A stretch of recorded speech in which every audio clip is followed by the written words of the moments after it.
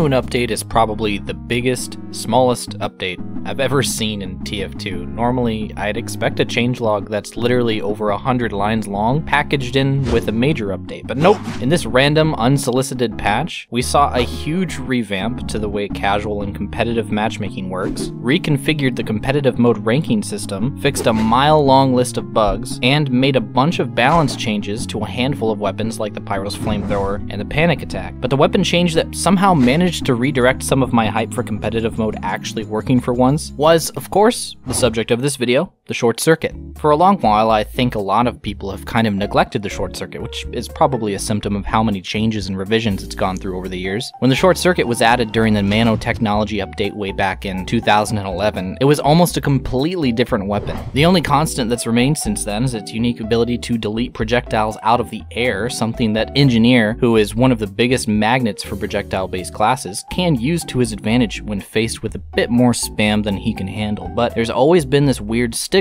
surrounding the short circuit, and depending on who you talk to, you can get pretty much every opinion about this thing, ranging from considering it overpowered to being completely useless, which results in the short circuit being the least used engineer secondary in the game. For me, I personally fell into a middle ground about whether it just didn't do enough compared to the pistol or the Wrangler, or if it was just more of a giant middle finger to soldiers and demo men than anything. But overall, I've always thought that the short circuit was pretty underrated. It was a fun alternative to using the Wrangler, which is both a better and way easier to use option for when you want to keep rockets from damaging your sentry gun, and it was a pretty reliable aid for tracking down invisible spies or finishing off a jumpy scout right in front of you that you just couldn't seem to land that one last fatal blow on. But as of the Out of the Blue Moon update, none of these opinions matter anymore. All that matters now is that the engineer is now Mega Man.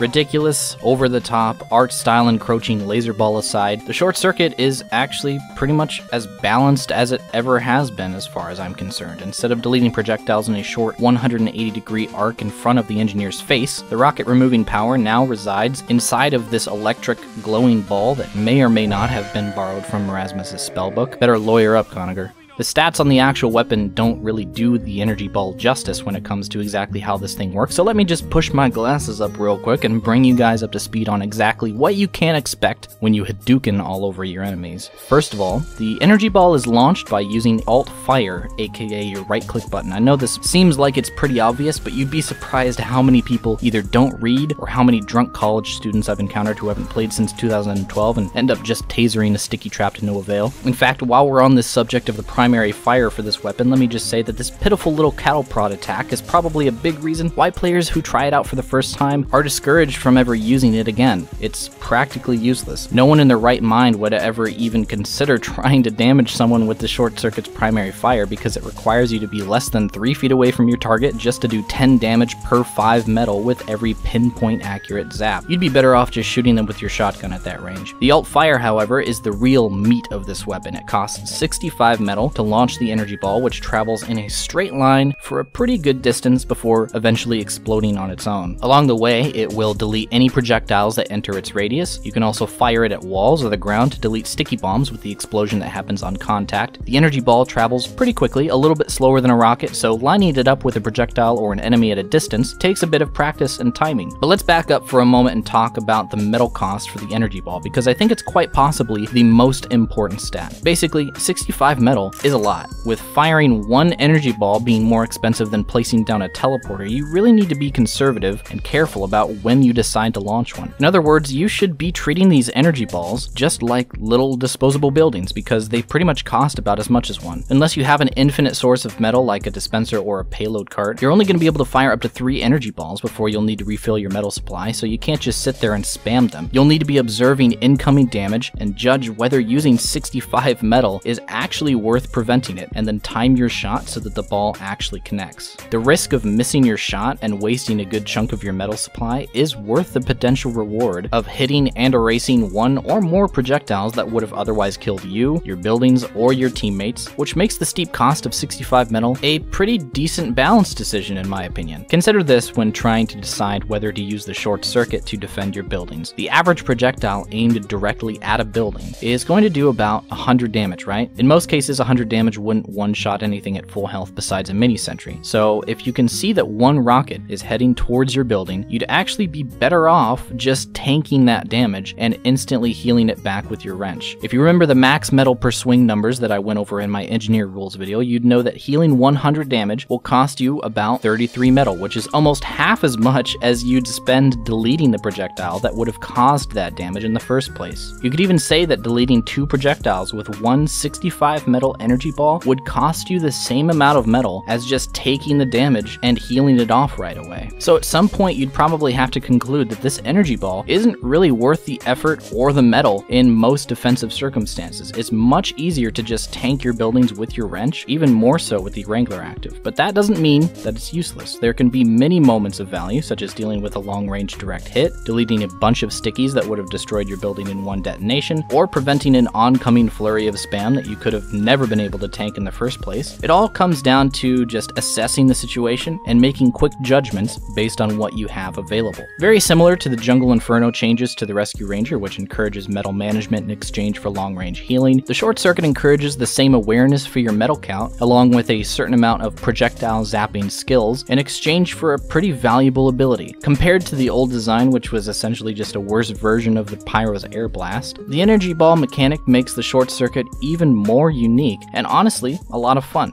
But we're not done talking about what this ball of fun can do because being an orb of pure electricity, of course, it can damage enemies. About 15 damage actually, which isn't really anything to write home about, but when you consider the fact that it can penetrate players without losing momentum and deals that 15 damage per half second or so that the enemy is making contact with the ball, you've got yourself some potential for a couple frags. The damage stacking tends to punish enemies who are attempting to escape, making the short circuit operate very much like an even better version of the Righteous Bison when firing it at players who are either walking away from you or just throwing a ball or two down a crowded corridor where it's difficult to escape its trajectory. It's also not too bad at spy checking, it definitely is not as reliable as it used to be, but if you happen to catch an invisible spy running in a straight line alongside your energy ball, they can get pretty messed up. But to be honest, the addition of this energy ball has effectively switched the utility of the short circuit from a defensive leaning weapon to an incredibly useful offensive combat tool. Most of the time I've found my success with the short circuit when taking on individual players in 1v1 death matches. In particular, fighting against soldiers is now much more interesting than just praying that they miss two of their rockets before you can get close enough to meat shot them. When battling a soldier or any projectile class with the energy ball, you can reliably give yourself a short period of safety from taking rocket damage when you close the distance needed to land your effective damage. In the best case scenario, you can throw down a mini sentry, switch to the short circuit, and fire a safety ball at your opponent to both shut down the rocket or grenade aimed at you or your gun, then quickly switch to your shotgun to start dealing damage. At this point, you've effectively done a multitude of things that have helped you. You've placed down a mini sentry without a fear of getting it one shot before it can completely build itself up. You've prevented your opponent from doing anywhere between 50 and 100 damage to you before you can get close enough to be effective with your shotgun.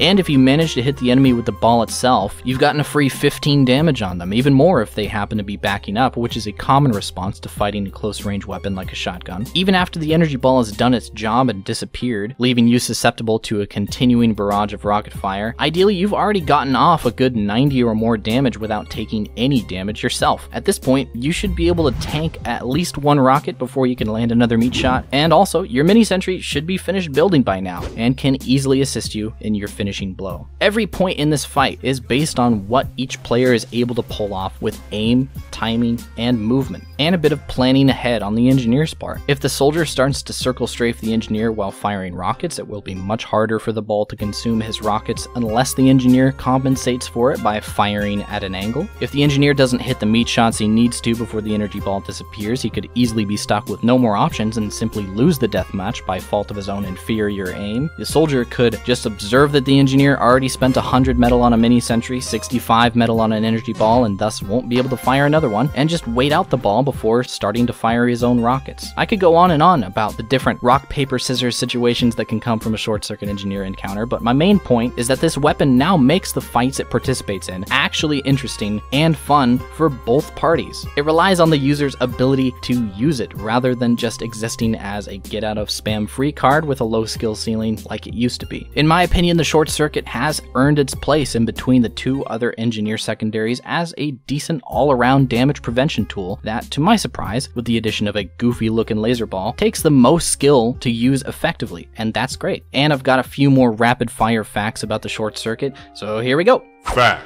Not only can you never get a random crit with the short circuit, but you also can't use the Kritzkrieg on it. However, it can be affected by the buff banner to grant mini crits. Fact. Because the short circuit's ability to delete projectiles isn't limited to what's directly in front of the engineer, it can be used quite effectively to delete a sticky trap on corners or on a control point from safety. So no more risky defusing. Fact.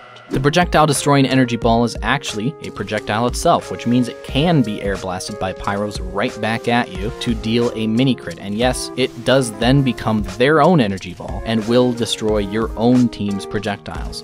But wait, if the energy ball is a projectile, does that mean that it can destroy itself? Fact. No, it technically doesn't destroy itself, but rather, when two opposing energy balls collide, they both merely explode as if they had hit a wall. This, of course, makes for some pretty epic Engie V Engie Dragon Ball battles.